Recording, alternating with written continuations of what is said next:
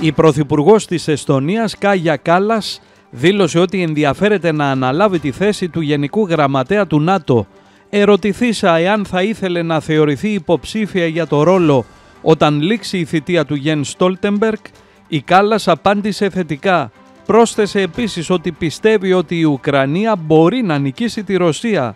Η Κάλλας μιλώντας στη Σύνοδο Άμυνας Πολίτικο που έγινε στην Ουάσιγκτον απέρριψε τους ισχυρισμούς ότι η σύγκρουση ήταν αδιέξοδη λέγοντας ότι τέτοιες αναφορές εξυπηρετούν τα ρωσικά συμφέροντα.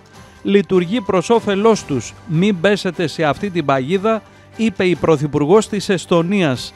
Πρόσθεσε ότι χρειάζεται βιώσιμη ειρήνη στην Ουκρανία και ότι η υποστήριξη των Ηνωμένων Πολιτειών Αμερικής είναι απαραίτητη γι' αυτό.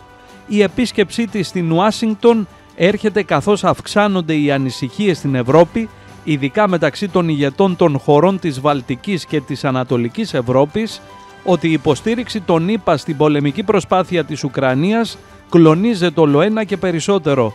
Η κάλαση η οποία συναντήθηκε με αξιωματούχους της κυβέρνησης Biden και βουλευτές στο Καπιτόλιο υπογράμμισε την ανάγκη για αμερικανική υποστήριξη για την επίτευξη διαρκούς ειρήνης στην περιοχή.